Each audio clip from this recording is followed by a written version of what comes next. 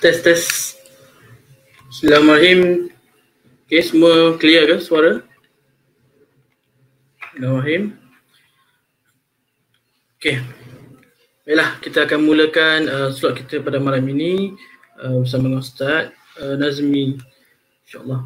Okay, Bismillahirrahmanirrahim. Assalamualaikum warahmatullahi taala wabarakatuh dan selamat malam kepada semua penonton yang uh, sedang menyaksikan secara langsung uh, live kita punya bedah sirah pada malam ini.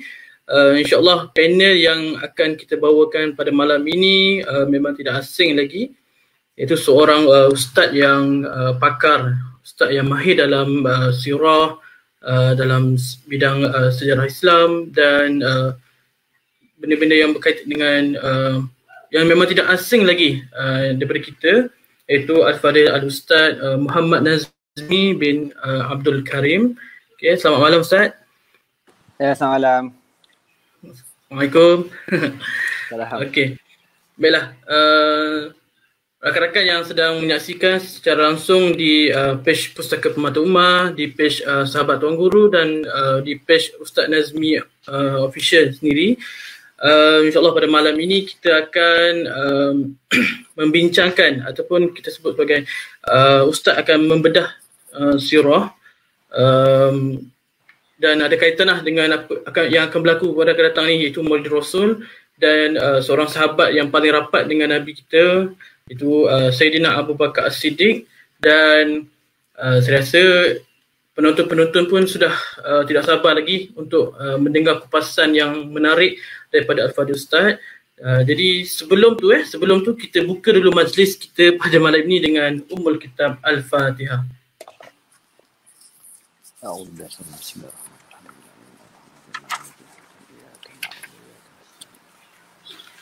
صراط الذين أنعمت عليهم غير المغضوب عليهم ولا الضالين Okey, baiklah. Um, sedikit berkaitan dengan uh, latar belakang Ustaz uh, Muhammad Nazmi bin Abdul Karim. Um, Al-Fadhil Ustaz merupakan uh, ketua urusan ulama uh, Petaling Jaya. Uh, seorang yang aktif um, selaku volunteer. Kalau kita tengok Ustaz memang sangat-sangat uh, dalam uh, kemanusiaan. Sangat aktif dalam NGO Muslim Care Malaysia dan uh, Al-Fadhil Ustaz juga merupakan uh, mudir Turas Al-Islami yang berpusat di Shah Alam. Okay. So um, itu sedikit berkaitan dengan Ustaz dan uh, untuk malam ni kita beruntung kerana um, kita dapat bersama dengan Ustaz di um, medan ini untuk untuk malam ini dan uh, Ustaz akan memberikan sedikit uh, pencerahan ataupun kupasan secara langsung uh, tentang uh, seorang salah seorang sahabat Nabi yang dijanjikan syurga itu Sayyidina Abu Bakar As-Siddiq radhiyallahu anhu dan tanpa melengahkan masa kita terus kepada uh, panel jemputan kita pada malam ini insyaallah. Baiklah. Okay Ustaz, uh, Ustaz dah uh, bersedia Ustaz eh? أوكي بسم الله الرحمن الرحيم. السلام عليكم ورحمة الله تعالى وبركاته. الحمد لله رب العالمين والصلاة والسلام على سيدنا محمد وعلى آله وصحبه أجمعين.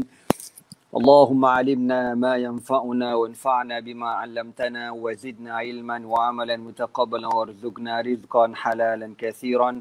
واسعا يا أرحم الراحمين. اللهم إنا قد استودعناك بما علمتناه فارده إلينا عند حاجتنا إليه ولا تنسنا يا رب العالمين اللهم أخرجنا من ظلمات الجهل وأكرمنا بنور العلم وأحسن أخلاقنا بنور الحلم وصلى الله على سيدنا محمد وعلى آله وصحبه وبارك وسلم أما بعد Alhamdulillah bersyukur kita kepada Allah Subhanahu wa taala kerana dengan taufik dan hidayah yang dapat sama-sama kita bersua pada malam ini. Jadi pada malam ni uh, kita buat live lewat eh, pukul 9 biasa kita bersiaran pukul 8 ya. Jadi pada malam ni agak uh, special uh, sebab uh, live kita pada malam ini bersama dengan uh, Pustaka Permata Ummah ya, Pustaka Permata Ummah yang sebenarnya uh, program ini dilakukan untuk uh, kita mempromosikan buku terbaru Tuan Guru uh, Tuan Guru uh, Sheikh Abdul Hadi Awang berkenaan dengan uh, seorang khalifah ataupun seorang sahabat Nabi yang cukup terkenal yang cukup disayangi oleh Rasulullah sallallahu alaihi wasallam beliau tak lain tak bukan ialah Sayyiduna Abu Bakr As-Siddiq radhiyallahu taala anhu. Jadi pada malam ni uh, kalau ikutnya kita nak membedah buku untuk guru lah sepatutnya. Tapi memandangkan ramai lagi yang tak ada buku tu. Jadi anak akan uh, cerita secara ringkas tentang Sayyidina Abu Bakar As-Siddiq radhiyallahu taala anhu sekadar kemampuan anak ya anak ni bukanlah pakar pun tak ada benda pun anak ni. Ya orang kata uh, sekadar minat kepada sirah itu saja tak lebih. Uh, dan buku yang tuan guru uh, Sheikh Abdul Hadi buat ini satu buku yang cukup uh, bermanfaat uh, mempunyai orang, orang panggil fakta-fakta yang begitu cantik dan menarik yang anda rasa setakat ni Allahu alam mungkin dengan sebab kelemahan Ana ni Ana jarang baca buku sirah bahasa Melayu. Jadi mungkin Ana pun tak tahu mana. Tapi rasa-rasanya yang uh, buku terbitan yang terbaru yang Tuan Guru keluarkan ini agak istimewa dan Ana rasa memang istimewa sebab latar belakang kepakaran Tuan Guru kita, beliau memang merupakan seorang yang pakar sejarah. Ya, Tuan Guru subhanallah dalam beberapa pertemuan Ana dengan Tuan Guru beberapa tahun dahulu, memang tuan guru ni bab sejarah dia memang A lah, memang terbaik. Ya segala maklumat tersemat di dalam uh, dalam kepala beliau, dalam ingatan beliau. Jadi uh, buku yang tuan guru buat uh, dia akan dicerita secara detail tentang mukadimah, tentang Abu Bakar Siddiq, perjalanan uh, beliau, perjalanan pentadbiran beliau yang mana Abu Bakar Siddiq ni memerintah tak lama dalam tempoh dua tahun tiga bulan lebih kurang dua tahun, tiga bulan, sepuluh hari uh, bagi pendapat beberapa ulama-ulama sirah. Jadi bagi Ana buku ni uh, yang akan diterbitkan nanti amat sesuai untuk kita yang minat kepada sejarah Islam dan tak mampu untuk membaca kitab-kitab rujukan dalam bahasa Arab khususnya, elok kita beli buku ni. Ya, sebab buku ni ditulis oleh orang yang berkecimpung dalam perjuangan yang berkecimpung di dalam uh, sepak terajang pahit manis perjuangan Islam dan orang yang memang pakar dalam bidang sejarah maka penulisannya lain daripada yang lain. Okey, jadi pada malam ini anak akan sebagai orang kata memberikan intro ya bukanlah Hana ni yang sepatutnya tapi sebagai orang panggil la yudraku kulluhu la yutraku julluhu benda yang kalau kita tak boleh buat semua jangan kita tinggalkan semua jadi kita mengambil keberkatan untuk anda menceritakan pada malam ini tentang man huwa Abu Bakr Siddiq radhiyallahu taala anhu. Okey, uh, sidang penonton yang dirahmati Allah sekalian. Yang pertama sekali uh, stand it lah kita nak kenal orang ni mesti kenal namanya dan ana yakin uh, kita semua tahu nama Abu Bakar itu nama Abu Bakrin tapi itu bukan namanya. Itu dipanggil apa? Kuniyah. Dalam bahasa Arab dia ada dia ada dua ya ataupun tiga. Yang pertama al-ism, nama. Yang kedua kuniyah. Ma uh, ma yani ma, ma udifa ila abin atau ummin apa-apa nama yang disandarkan kepada perkataan ab ataupun um dan yang ketiga dia panggil laqab laqab dengan mana gelaran as-siddiq al-faruq nurain dan sebagainya jadi Abu Bakrin ini apa nama sebenar dia? Okey, nama sebenar dia Abdullah. Ha, kata dah ramai tak tahu nama sebenar dia kan. Ha, kita tahu Abdullah bin Amr, Abdullah bin Abbas, kita tahu. Ha, tapi Abu Bakar Siddiq nama sebenar dia apa? Nama sebenarnya Abdullah bin Osman bin Amir bin Ka'ab At-Taimi Al-Qurashi. Kana ismuhu عبد الكعبة فسماه رسول الله صلى الله عليه وسلم عبد الله kalau ikut dalam pendapat uh, sebahagian ulama sejarah nama asal Abu Bakar Siddiq ialah Abdul Ka'bah ya Abdul Ka'bah maka Nabi sallallahu alaihi wasallam menamakan beliau dengan Abdullah dan ini merupakan kebiasaan Nabi sallallahu alaihi wasallam apabila Nabi dengar nama sahabat ni nama yang tak berapa elok maka Nabi tukar kepada nama yang lebih elok. Laqabahu As-Siddiq, gelaran beliau ialah As-Siddiq yang terlalu membenarkan. Dan kisah tentang gelaran As-Siddiq ni anda rasa semua orang tahu belaka dah. Dengan sebab beliau lah, beliau lah orang yang pertama membenarkan peristiwa Al-Isra' wal-Mi'raj. Walaupun dia tak dengar lagi cerita tu, walaupun dia tak nampak, dia tak tengok dan sebagainya, tapi bagi dia apabila benda tu datang keluar daripada mulut Nabi SAW, Basharahu bisidqi, dialah orang yang pertama membenarkan apa sahaja yang datang daripada mulut Rasulullah sallallahu alaihi wasallam. Wa kuniyatu Abu Bakrin dan kuniahnya, kuniah dengan mana nama yang disandarkan kepada perkataan abun atau umun. Okey. Dalam bahasa Arab, kebiasaan ya, kebiasaan orang Arab ni dia akan panggil kita macam contohnya nama saya Muhammad Nazmi kan. Orang Arab tak panggil saya Muhammad ke Nazmi ke tak. Dia akan panggil Abu bapa. Bapa kepada siapa? Jadi saya ni ada contohlah anak sulung nama Nadirah. Orang nak panggil Abu Nadirah ha, begitu. Jadi Abu Bakar ni dia ada nama. Abu Bakar ada anak nama Bakar ke? Ha, kan? Tak ada. Ha, ni satu benda yang kita ramai juga tak tahu. Abu Bakrin bapa kepada Bakar. Adakah Abu Bakar ini ataupun Abdullah bin Osman nama sebenar beliau ada anak nama Bakar? Jawapannya tak. Abi kenapa? Wallahu alam mungkin dia sendiri yang meletakkan nama tersebut kepada kuniahnya. Orang panggil Abu Bakrin. Begitu juga dengan Omar Al-Khattab. Omar Al-Khattab, apa dia punya kuniah dia? Abu Hafsin. Adakah Omar ni ada anak lelaki bernama Hafsin? Tak ada. Omar ada anak perempuan bernama Hafsata atau Hafsatu.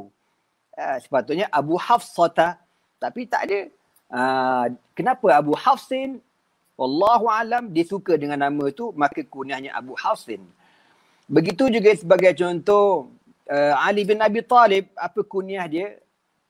Sepatutnya Abu kepada Abul Hasan ataupun Abul Husain kan.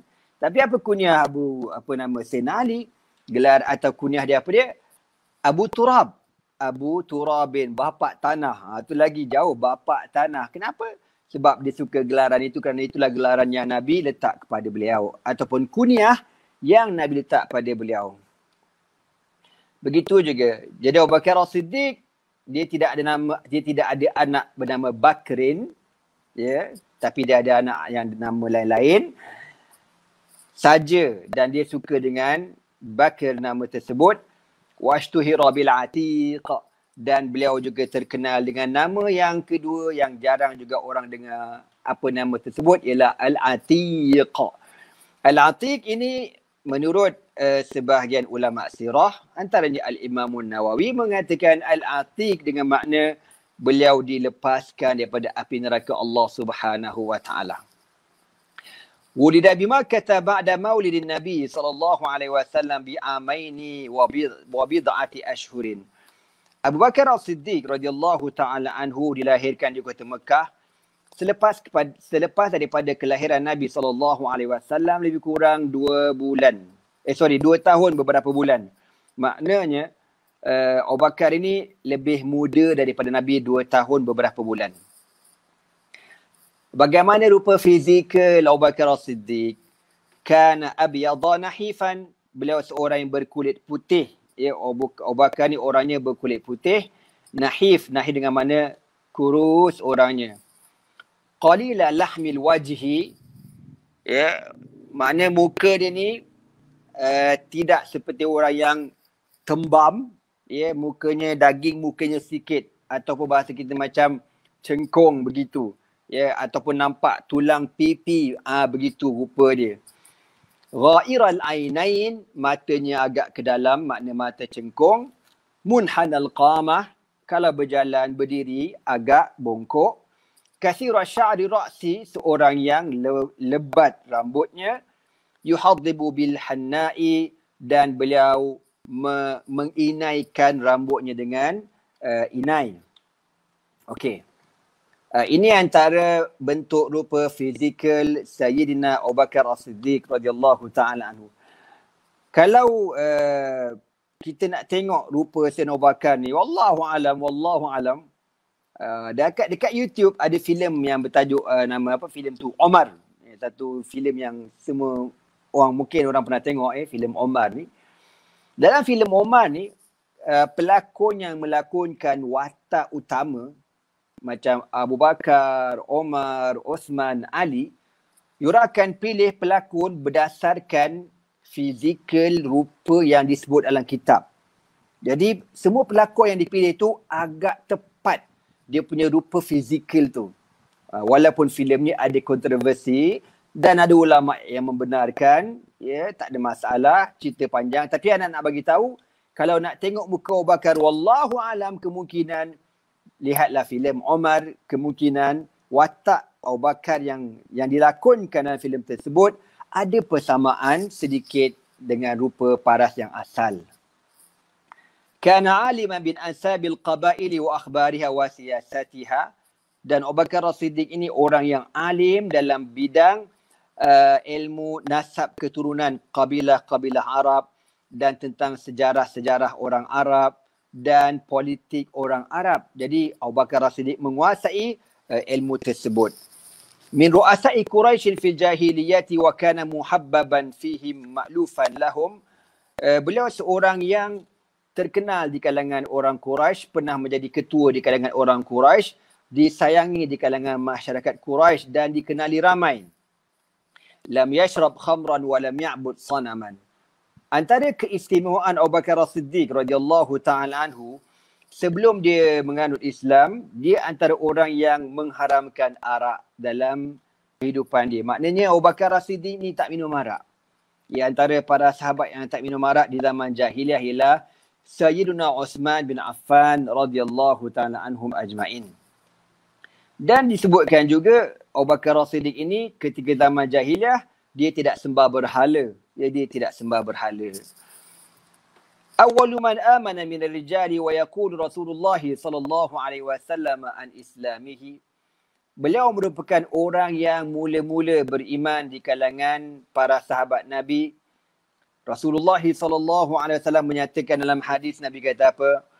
Ma da'awtu ahadan ila al-islam illa wa kanat minhu aw indahu kabwatun wa nadharun wa taraddudun illa ma kana min Abi Bakrin ما عكم عنه حين ذكرته له وما تردد فيه Rasulullah sallallahu alaihi wasallam bersabda tidak ada seorang pun ketika mana aku ajak mereka masuk Islam orang tu mana ke semua para sahabat ketika Nabi ajak masuk Islam mereka merasa taradud taradud mana apa teragak-agak nak masuk ke tidak nak masuk ke tidak nantilah aku fikir dulu aku fikir dulu illa Abu Bakrin kecuali Abu Bakar As-Siddiq. Abu Bakar As-Siddiq ma taraddada ma akama an hin zakartuhu wa ma taraddada fihi. Abu Bakar As-Siddiq ketika Nabi wasallam ajak masuk Islam, dia langsung tak ada rasa taraddud. Dia rasa nantilah saya fikir dulu, nantilah saya tengok macam mana. Tak ada, tak ada, tak ada. Terus beriman kepada Rasulullah sallallahu alaihi wasallam. Jadi inilah antara kehebatan kemuliaan Abu Bakar As-Siddiq radhiyallahu taala anhu. Aslama ala yadayhi al-kathirun. Ramai para sahabat yang bukan calon-calon orang dan sahabat Nabi ni ialah dan nama pun sahabat Nabi kan. Sahabat Nabi ni orang hebat-hebat belaka. Antara jasa besar Sayyidina Abu Bakar As-Siddiq apa dia? Beliau mengislamkan sejumlah besar para sahabat Nabi yang mana sahabat-sahabat yang beliau islamkan ni pula bukan sebarangan kesemuanya merupakan ahadu al-asharah al-mubashirin bil jannati orang-orang yang dijamin masuk syurga. Siapakah mereka? Antaranya Sayyiduna Az-Zubair bin Al-Awwam radhiyallahu taala anhu. Az-Zubair bin Al-Awwam yang diberi gelaran Hawariyu Rasulullah sallallahu alaihi wasallam. Uh, kita panggil apa? Bodyguard. Uh, gitu orang yang orang yang menjaga keselamatan Nabi sallallahu alaihi wasallam wa awwalu man salla sayfan fil Islam dan orang yang mula-mula menghunuskan pedang dalam sejarah Islam untuk mempertahankan Nabi sallallahu alaihi wasallam iaitu Sayyidina Az-Zubair bin Al-Awwam. Dan Az-Zubair bin Al-Awwam ini merupakan menantu kepada Abu Bakar As-Siddiq radhiyallahu taala anhu yang berkahwin dengan Sayyidatina Asma binti Abi Bakr radhiyallahu taala anhum ajma'in dan Asma inilah anak Abu Bakar Siddiq yang mula-mula uh, di kalangan orang Al-Muhajirin yang melahirkan baby di Madinah.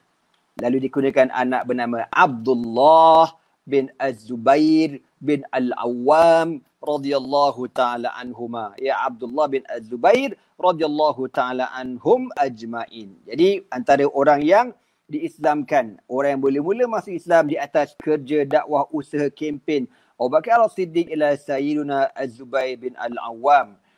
Lagi siapa dia sahabat yang masuk Islam dengan sebab jasa Abu Bakar As-Siddiq, Sayyiduna Uthman bin Affan radhiyallahu taala anhum.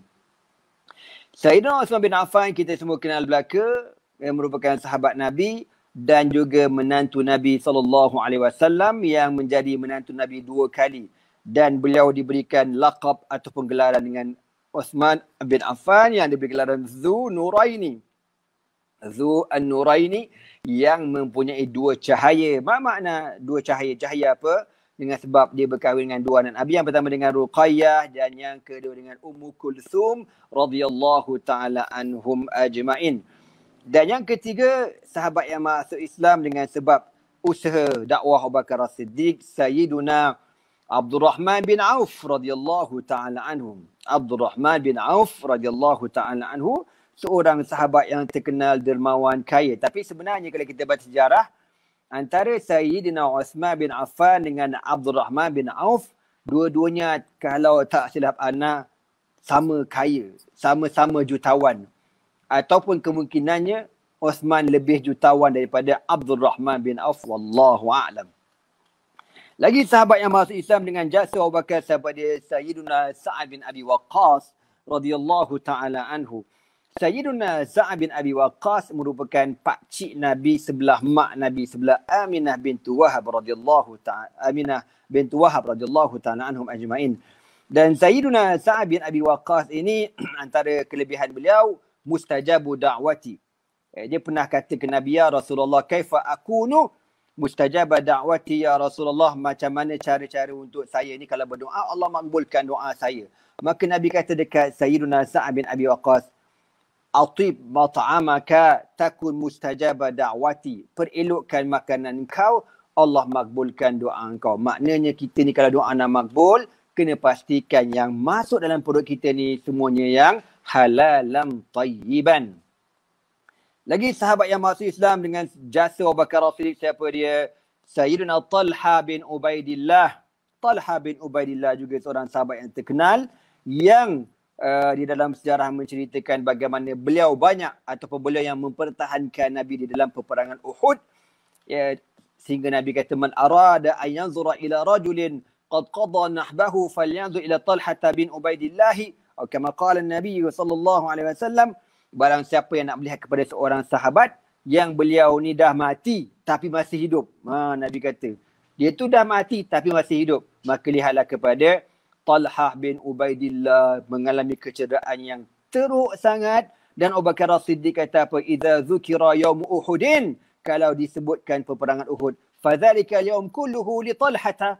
Kesemua peperangan itu milik Talhah radhiyallahu taala anhu wa Abu Ubaidah bin Al-Jarrah dan sahabat yang antara yang masuk Islam dengan sebab jasa Abu Bakar Siddiq ialah Abu Ubaidah bin Al-Jarrah yang Rasulullah Rasulullah sallallahu alaihi wasallam sebut dalam hadis likulli ummatin amin wa aminu hadhil ummah. Abu Ubaidah bin Al-Jarrah semua umat itu ada orang yang paling amanah dan orang yang paling amanah di kalangan umatku ialah Sayyiduna Abu Ubaidah bin Al-Jarrah radhiyallahu taala anhum wa jami'uhum dan kesemua sahabat ini merupakan al-mubashshari nabil jannati orang yang diberikan khabar gembira ahli syurga. Harap-harap kita semua pun masuk syurga belaka insya-Allah. Amin.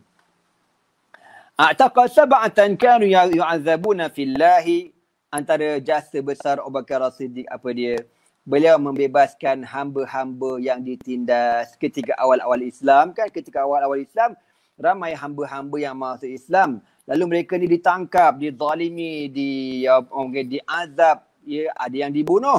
Antara yang dibebaskan ialah Bilal bin Rabah, Amir bin Fuhairah, Dinirah, Nahdiyah dan lain-lain lagi di kalangan orang-orang golongan mustada'afin.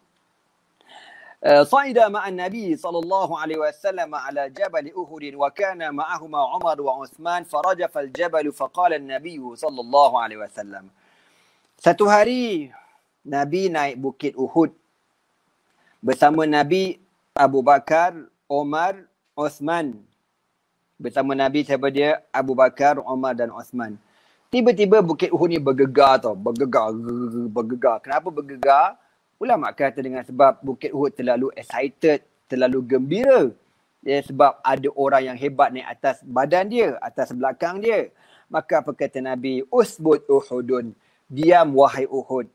Fa inna ma'alaika nabiyun wa siddiqun wa syahidani. Kerana di atas engkau ada seorang yang diberi gelaran as-siddiq dan ada Nabi dan ada orang yang bakal mati syahid. Ha, Nabi sebut yang bakal mati syahid siapa dia? Uh, Umar Al-Khattab dan juga Sayyidina Uthman bin Affan radhiyallahu taala anhu. Okey. Apa yang saya ceritakan ni semuanya mukaddimah. Ya, mukaddimah tentang uh, Abu Bakar As-Siddiq radhiyallahu taala anhu. Kalau ikut mukaddimahnya banyak lagi lah, panjang lagi. Tapi masa kita tak mengizinkan ya. Uh, kita terus kepada uh, bagaimana Abu Bakar As-Siddiq ini permulaan kisah dia ni bakal bakal menjadi pengganti kepada Rasulullah sallallahu alaihi wasallam. Ketika Nabi sallallahu alaihi wasallam mula jatuh sakit di Madinah Al-Munawwarah lebih kurang pada tahun uh, 11 Hijrah ataupun akhir tahun 10 Hijrah tu Rasulullah sallallahu alaihi wasallam bila Nabi sakit ni maka siapa yang nak menjadi imam sembahyang ya. Jadi di zaman Nabi ramai je para sahabat yang tera-tera Ubay bin Ka'ab kan? Abdullah bin Mas'ud uh, Abdul Rahman bin Auf uh, siapa lagi? Uh, Huzaif Huzaifah bin Al-Yaman satu lagi tu nama uh, Allahumma salli sayyidina Muhammad Zaid bin Thabit radhiyallahu taala anhum. Jadi ramai para sahabat yang mempunyai kepakaran dalam bidang Al-Quran, ya. Tapi Rasulullah sallallahu alaihi wasallam bila Nabi sakit, Nabi kata muru Abu Bakrin falya umman nasa, falya umman nasa. Nabi kata muru Abu Bakrin, suruh Abu Bakar jadi imam. Suruh Abu Bakar jadi imam maka dengan sebab arahan Nabi saw ini yang jadi imam semayang ialah Abu Bakar As-Siddiq radhiyallahu taala anhu. Uh, pernah Sayyidatina Hafsatu atau Hafsah isteri Nabi anak kepada Umar Al-Khattab minta ke Nabi dia kata ya Rasulullah izinkan bapa aku Umar Al-Khattab untuk jadi imam. Nabi kata la ya Hafsah tak boleh kerana ini merupakan pilihan Allah Subhanahu wa taala. Dan Rasulullah sallallahu alaihi wasallam kalau ikut Nabi secara peribadi, Nabi nak suruh Ali menjadi imam. Tapi apa kata Nabi sallallahu alaihi wasallam kan Abu Bakar ini bukan bukan pilihan aku tapi dia merupakan pilihan Allah Subhanahu wa taala. Pernah berlaku satu pagi satu ketika uh, Abu Bakar datang lambat, Umar jadi imam ke depan, jadi Nabi bila nampak Omar dekat depan dan Nabi ni kat dalam bilik dia lah. Nabi tengok kat luar, Nabi nampak Omar kat depan. Maka Nabi kata apa? La, la, la aballahu wal muslimuna illa Abu Bakrin. Nabi kata. Tidak, tidak, tidak. Nabi kata. Allah dan orang Islam tidak mengizinkan yang menjadi imam kecuali Abu Bakar As-Siddiq radhiyallahu taala Begitulah orang kata hebatnya kedudukan Abu Bakar As-Siddiq radhiyallahu taala anhu yang beliaulah menggantikan Nabi sallallahu alaihi wasallam ketika Nabi sakit. Okey, dipendekkan cerita sehinggalah Nabi sallallahu alaihi wasallam meninggal dunia wafat. Ya, kebetulan kita berada dalam bulan Rabiul Awal yang kita sedia maklum kita menyambut peristiwa uh, Maulid kelahiran Nabi pada bulan Rabiul Awal. Kita jangan lupa di dalam bulan ini juga berlakunya tiga peristiwa ya. Yang pertama 12 Rabiul Awal kelahiran Nabi. Ada ulama kata 9 Rabiul Awal. Khilaf ulama. Yang masyhur kata 12.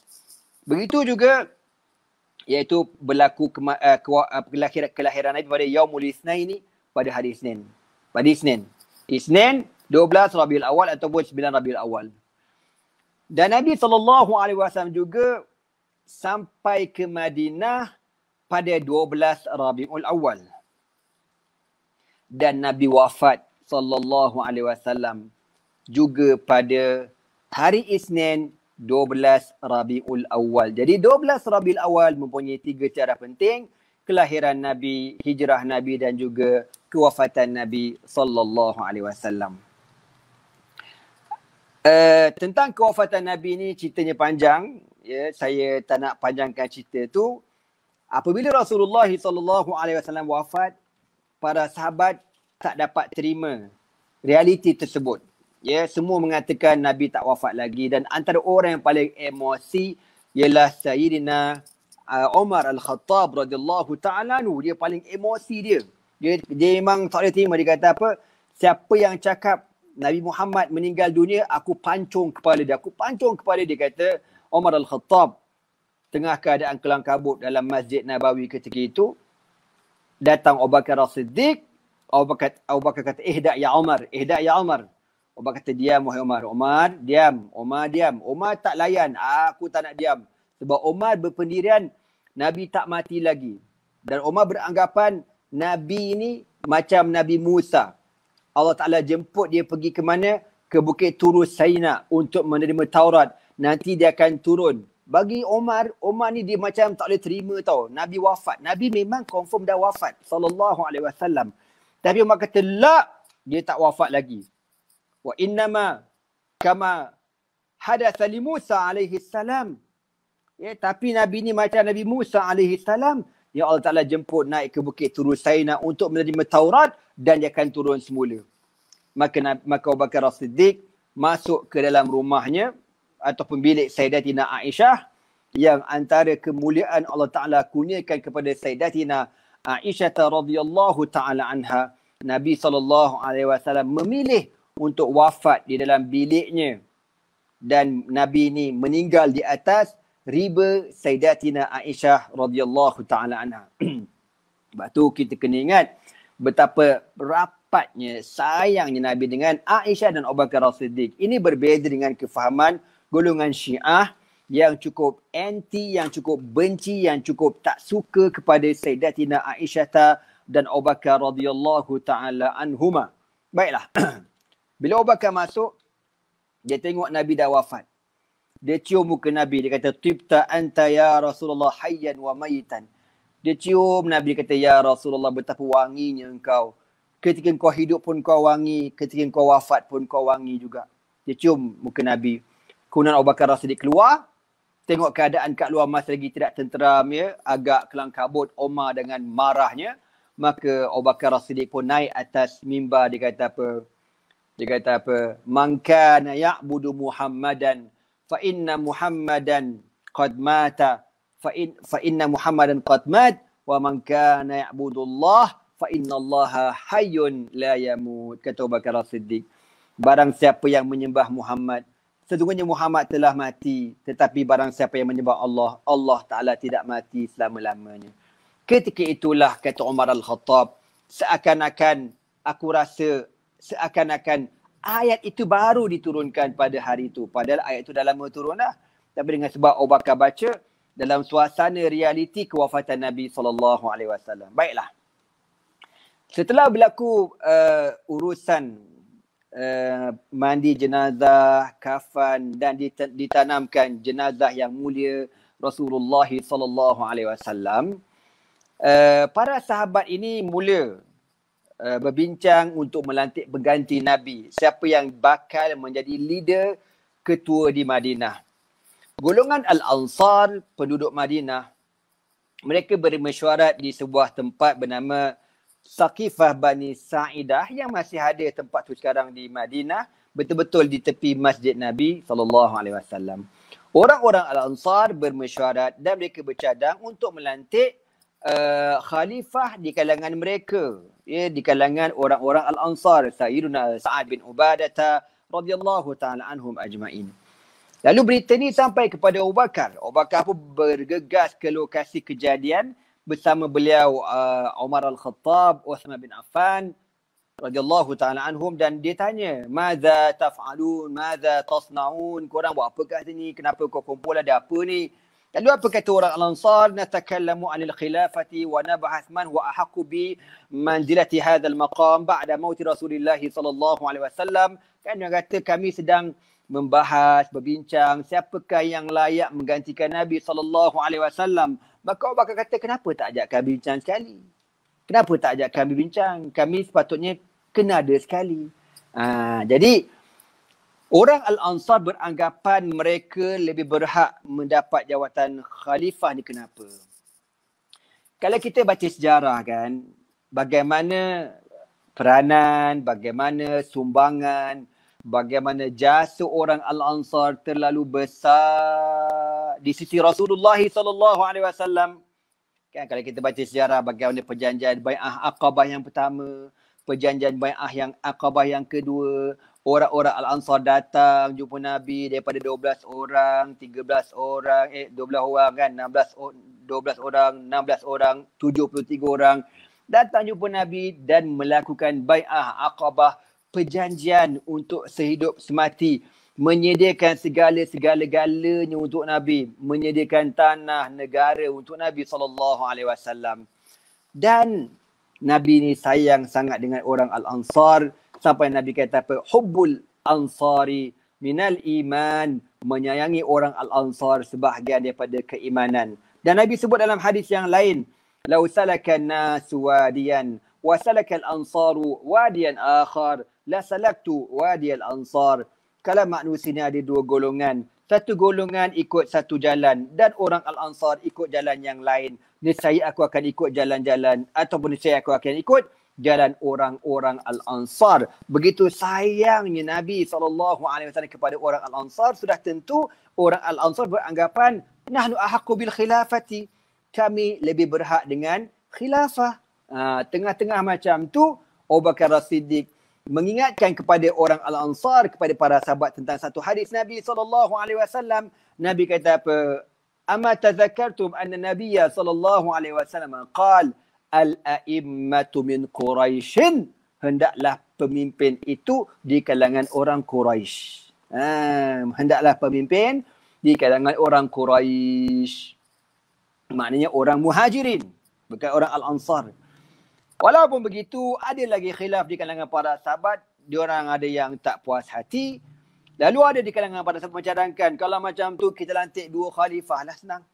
Kan? Satu di kalangan muhajirin, satu di kalangan al-ansar. Pilih. Korang berkenan siapa, lantik seorang, kami lantik ketua kami, dua orang. Bila diorang buat cadangan nak lantik dua orang khalifah, apa kata Umar Al-Khattab? Umar kata kalau ada dua khalifah, aku pancung seorang. Cakap banyak tak? Omar dia tak cakap banyak. Dia smack down terus. Seorang kalau ada dua orang khalif aku pancung kepala dia seorang. Ha, gitulah apa ni Omar Al-Khattab. Ketika itulah bila dalam suasana yang agak orang kata tegang ketika itu datanglah sahabat Al-Ansar Sayyiduna Zaid bin Thabit Al-Ansari radhiyallahu taala anhu. Sayyiduna Zaid bin Thabit radhiyallahu taala anhu seorang sahabat yang beliau ni ketika Nabi berhijrah ke Madinah masih kecil lagi dan beliau ni uh, nak pergi perang Badar tapi tak cukup umur tak dibenarkan. Beliau mula berperang kalau tak silap ana dalam perang Uhud. Ya kalau tak silap ana. Ataupun perang Khandaq.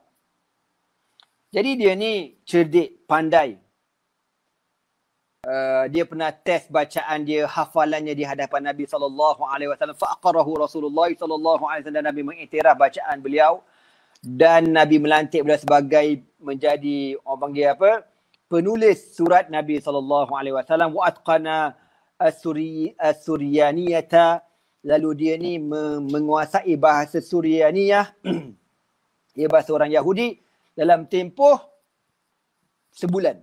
Sebulan menguasai bahasa Suryaniah. Power tak power.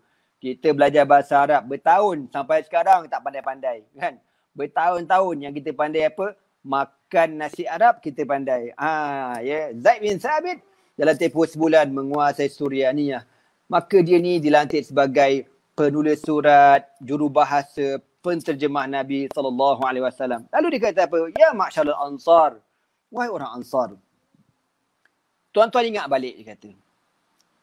Ketika Nabi sakit, sepanjang Nabi sakit baru-baru ni, siapa yang menjadi imam semayang? Siapa jadi imam semayang? Masa itulah orang pun teringat. Oh, oh lah. Abu Bakar Siddiq. Abu Bakar Siddiq jadi imam kan? Hadhi isyaratun. Ini sebagai satu isyarat, sebagai tanda. Kalaulah aku tak ada besok, Abu Bakar lah orang yang bakal menjadi ketua di kalangan kamu. Bila Zaid bin Sabit bagi cadangan macam tu, barulah orang Al-Ansar orang kata agak tersentap dan tersedar dan diorang kata betul apa yang dikatakan oleh Zaid bin Sabit dan beliaulah orang yang mula-mula membai'ah melakukan bai'ah kepada Abu Bakar As-Siddiq radhiyallahu taala anhu. Dan Abu Bakar As-Siddiq ni tuan-tuan merupakan orang yang banyak menyelesaikan masalah-masalah yang orang orang tak tahu, orang terlupa dan sebagainya. Anda dah sebut tadi kan sebagai contoh apabila Abu Bakar sebut al-a'immatu min Quraisyin, hendaklah pemimpin di kalangan Quraisy. Orang boleh dengar hadis tu, ish. Lah adalah hadis ni baru orang ingat. Supalah ketika Nabi ni nak ditanam jenazah Nabi tu berlaku khilaf juga. Faminhum man qal ada di kalangan sahabat kata uh, nudfinuhu au nadfun nadfanahu au afwan nudfinuhu kita tanam jenazah Nabi ni dekat Mekah. Ada kata kita tanam dekat Baqi', ada kata tanam dekat Palestin. Lalu apa kata Abu Bakar Siddiq? Nabi bersabda, "Ma min nabiyyin qubida illa wadufina tahta firashihi." Atau kama qala Nabi sallallahu alaihi wasallam, tidak adalah mana-mana nabi yang meninggal dunia kecuali dia akan ditanam di bawah di bawah pembaringannya iaitu di bawah katilnya di rumah Sayyidatina Aisyah radhiyallahu taala anha. Baiklah. Jadi apabila Abu Bakar As-Siddiq radhiyallahu taala anhu ini uh, telah dipilih menjadi khalifah menggantikan Rasulullah sallallahu alaihi wasallam maka berlakulah bai'ah ya perjanjian ataupun taat setia daripada para sahabat Nabi radhiyallahu taala anhum ajmain. Apabila Abu Bakar As-Siddiq dilantik menjadi khalifah, beliau mengucapkan khutbah beliau yang pertama, ya khutbah sulung beliau sebagai seorang khalifah. Apa kata beliau? Ya ayuhan nas, qad ulitu alaikum wa lastu bi khairikum. Wahai manusia sekalian, Sesungguhnya aku telah dilantik di kalangan kamu dan aku bukan yang terbaik di kalangan kamu. Fa in ahsantu fa'inuni. Kalau aku berbuat baik maka bantulah aku. Wa in sadaftu faqawimuni. Kalau aku buat benda yang tak betul, aku langgar, aku buat salah, faqawimuni. Maka tegakkan aku mana bantulah aku. Asidku amanatun. Bercakap benar itu amanah. Wal kadhibu khianatun bercakap bohong itu merupakan khianat wa dha'ifu fikum qawiyyun indi hatta akhudha lahu haqqahu dan orang yang lemah di kalangan kamu kuat di sisi aku apabila aku menyerahkan haknya kepadanya. Ataupun orang ni kan dia ada hak dia dirampas dia, dia lemah dia ditindas dia akan menjadi kuat di sisi aku apabila aku menyerahkan hak itu kepada dia. Wal qawiyyu fikum dha'ifun indi hatta akhudha al haqqa minhu. Dan orang yang kuat di kalangan kamu menjadi lemah padaku apabila aku mengambil hak daripadanya. Maknanya dia ni rampas hak orang, tekan orang, zalim orang. Macam power sangat. Tapi bila aku ambil tindakan atas dia, dia akan jadi lemah. Walaupun dia ni kuat. La yada'u ahadun minkumul jihada. Jangan ada seorang pun di kalangan kamu yang meninggalkan kerja jihad. Fa innahu la yada'u qawmun illa darabahumullahu bizulli tidak ada satu kaum yang meninggalkan jihad kecuali Allah Subhanahu wa taala akan menghinakan mereka habis-habisan. Ati'uni ma ata'tullah wa rasulahu. Taatilah aku selagi mana aku mentaati Allah dan Rasulnya. Fa in asaitullah wa rasulahu fala ta'ata li alaikum. Dan kalau aku melakukan perkara yang bercanggah dengan Allah dan Rasulnya, fala ta'ata li alaikum maka jangan sekali-kali kamu mentaati aku qumu ila salatikum yarhamkumullah bangkitlah kamu kepada salat Allah merahmati kamu itu merupakan uh, khutbah pertama Sayyidina Bakar As-Siddiq ketika hari pertama beliau dilantik menjadi khalifah. Okey tuan-tuan semua. Benda pertama Abu Bakar buat apa dia? Benda pertama Abu Bakar buat setelah Nabi wafat. Abu Bakar As-Siddiq menghantar semua pasukan tentera Islam yang diketuai oleh Sayyidina Usama bin Zaid. Usama bin Zaid bin Harithah radhiyallahu taala anhuma untuk berperang di Rom di Syam masa itu. Jadi apabila diceritanya Usama bin Zaid ini Nabi dah hantar dah nak pergi perang. Masa on the way pergi tu tiba-tiba dapat berita Nabi wafat menyebabkan pasukan tentera Islam ni U-turn balik ke Madinah, balik ke Madinah dengan sebab kewafatan Nabi sallallahu alaihi wasallam. Bila nak dihantar semula, ah, berlaku masalah dalam kes ni apa dia? Ada di kalangan sahabat yang tak puas hati dengan sebab Sayyiduna Usamah bin Zaid ini muda lagi. Belasan tahun. Orang kata pengalaman tak ada. Sedangkan di dalam tentera Islam ramai para sahabat yang veteran, pengalaman luas sepak terajam dalam peperangan dan sebagainya. Tiba-tiba dilantik Zaid, uh, afwan dilantik Usama bin Zaid. Maka Abu Bakar As-Siddiq mengarahkan Usama untuk meneruskan perjalanan. Sebelum pergi tu Omar jumpa. Omar kata, Ya Abu Bakrin. Boleh tak engkau lantik orang lain jadi ketua? Usama ni muda lagi. Cari orang lain boleh tak? Ha. Dan Omar cakap ni pula dengan sebab permintaan orang-orang tertentu lah. Ada orang lain minta. Lalu Abu Bakar ni tengok muka Omar. Dia jerekahnya Omar. Dia marahnya Omar. Ya Omar. Wahai Omar. Engkau nak suruh aku pecat orang yang dilantik oleh Rasulullah. Kata Abu Bakar. Omar berdengar terperanjat dia. Kan? Omar ni terperanjat dan dia marah dekat sahabat yang minta supaya ditukar. Orang lain menggantikan Usama bin Zaid. Jadi Usama Usama bin Zaid dengan dengan beberapa uh, ratus para sahabat ini bergerak menuju ke Syam dan berlakulah peperangan kecil dan akhirnya mereka pulang membawa ghanimah yang besar radhiyallahu taala anhu. Dan kita sedia maklum di zaman Abu Bakar As-Siddiq berlakunya uh, peperangan peperangan demi peperangan antara peperangan yang paling hebat apabila Abu Bakar As-Siddiq berhadapan dengan golongan yang dua golongan golongan al-murtadin golongan murtad dan juga mani'iz zakah orang yang tak nak bayar zakat kedua-dua kumpulan ini diperangi habis-habisan oleh Abu Bakar As-Siddiq radhiyallahu taala anhu. Dan uh, di zaman Abu Bakar As-Siddiq juga mulanya berlaku uh, penghantaran tentera untuk uh, mengalahkan al-Rum wal-Furs ataupun Rom dan Parsi. Itu berlaku juga di zaman Abu Bakar As-Siddiq radhiyallahu taala anhu. Dan tentera Islam berjaya mengalahkan al, uh, tentera Parsi di zaman Abu Bakar As-Siddiq kemudian mereka meneruskan kemarahan untuk berhadapan dengan tentera Rom yang masa itu tentera Rom berpusat di negara Asyam. Cerita peperangan ini panjang eh, Ma'raka Al-Qadisiyah, Yarmouk dan sebagainya cerita ni panjang. Ya kalau nak cerita malam ni masa mungkin tak cukup dan kita ada dalam 2 minit 2 minit saja lagi ya. Dan saya ringkaskan cerita pada malam ni sehingga akhirnya setelah Abu Bakar As-Siddiq memerintah dalam tempoh uh, 2 tahun 3 bulan 10 hari mengikut pendapat pendapat setengah ulama Abu Bakar As-Siddiq asabahu al-humma dia demam panas ya demam panas dan jatuh sakit dan beliau berwasiat hendaklah orang yang menggantikan tempat beliau ialah Umar Al-Khattab radhiyallahu taala anhu. Ya, jadi pelantikan pelantikan Umar Al-Khattab merupakan wasiat wasiat daripada Abu Bakar As-Siddiq untuk menggantikan tempat dia. Ya, sebab Umar Al-Khattab kita sedia sedia maklum ketegasan beliau mempertahankan Islam dan bagaimana Rasulullah wasallam pernah sebutkan ikutlah kamu dengan dua orang ini Abu Bakar dan Umar Al-Khattab radhiyallahu taala anhum ajmain. Jadi Abu Bakar As-Siddiq sempat memerintah selama dua tahun tiga bulan sepuluh hari dan beliau meninggal dunia dan ditanam bersebelahan baginda Rasulullah sallallahu alaihi wasallam di dalam bilik Sayyidatina Aisyah radhiyallahu taala anha. Jadi begitulah sebagai sedikit perkongsian kita pada malam ini.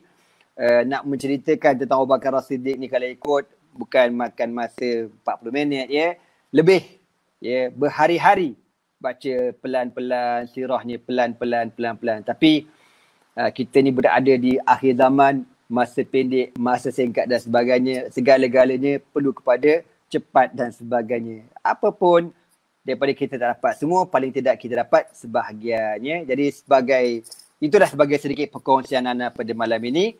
Pencerahan tentang sahabat Nabi yang mulia Sayyidina Abu Bakar As-Siddiq radhiyallahu taala anhu. Semoga dia bermanfaat untuk kita semua insya-Allah. Wallahu alam.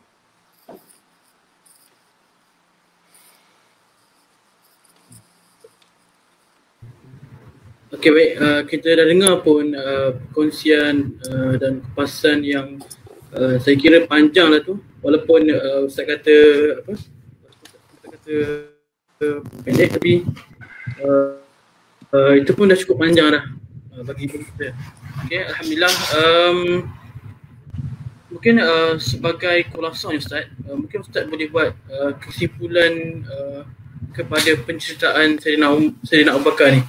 Baik Ustaz, maksudnya uh, dalam tempoh pemerintahan Sayyidina Abu Bakar, apakah um, jasa ataupun uh, perkara yang paling besar uh, yang dibuat oleh Abu Bakar dalam tempoh uh, pemerintahan uh, sepanjang menjadi khalifah tu? Saya ringkasnya Ustaz.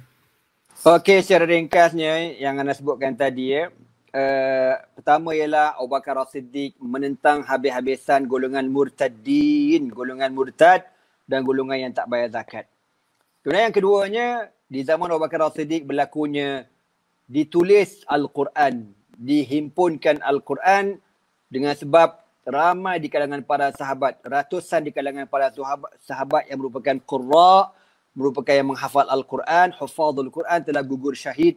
Jadi Abu Bakar Siddiq bimbang, takut-takut kalau dibiarkan perkara ini berterusan, Al-Quran akan hilang. Lalu Abu Bakar Siddiq bermusyawarah dengan Umar Al-Khattab radhiyallahu taala anhu dan dilantik Zaid bin Sabit, orang yang kita ceritakan tadi sebagai orang yang bertanggungjawab untuk mengumpulkan ayat-ayat Al-Quran dalam satu mushaf dan mushaf itu kemudian uh, disimpan kemudian diwariskan di zaman Umar kemudian disebarkan di zaman Sayyidina Uthman bin Affan radhiyallahu taala anhu dan di zaman Abu Bakar As-Siddiq yang saya sebutkan tadi dalam tempoh dua tahun tiga bulan kerja Islam all out tak berhenti. Yang ni yang kita lemah. Kita buat kerja Islam sambil lewa. Kalau ada masa kosong baru kita buat kerja Islam. Kadang-kadang tak kadang masa kosong punya berlambak pun kita buat bodoh je buat dono je kita ni. Banyak dosa terutama saya yang cakap. Saya tak kata orang lain. Abu Bakar Siddiq dalam tempoh dua bulan berjaya menundukkan Parsi dan berjaya menekan Rom dan menyebarkan Islam sejauh yang mungkin. Sebab itulah ya sebab tu para sahabat ini orang yang terbaik, generasi yang terbaik, apa best of the best yang takkan berulang buat selama-lamanya. Sebab tu kalau orang kata kau jangan kembali ke zaman silam. Kau ingat ni zaman sahabat ke? Kau jangan cakap macam tu. Orang sahabat yang paling mulia. Nabi kata khairul quruni qarni summa alladhina yalunahum summa alladhina yalunahum summa lam ya'ti yawmi illa wa ba'du syar minhu. Nabi kata apa? Sebab baik kurun kurun aku. Satu kurun selama 100 tahun. Summa alladhina yalunahum. Kemudian kurun lepas pada itu tahun satu tahun yang kedua mana 200 tahun Hijri. Summa alladhina yalunahum. Kemudian tahun 300 Hijri. Mana tahun 100, 200, 300 tahun Hijri merupakan merupakan kurun yang terbaik Summa lam ya'ti yaumun illa wa ba'dahu syahrun minhu. Nabi kata tidak datang hari kecuali esok lebih teruk pada hari ini. Makna kita pada hari ini hidup dalam zaman yang penuh ujian, zaman yang penuh dengan fitnah. Ha gitulah ya. Allahu alam.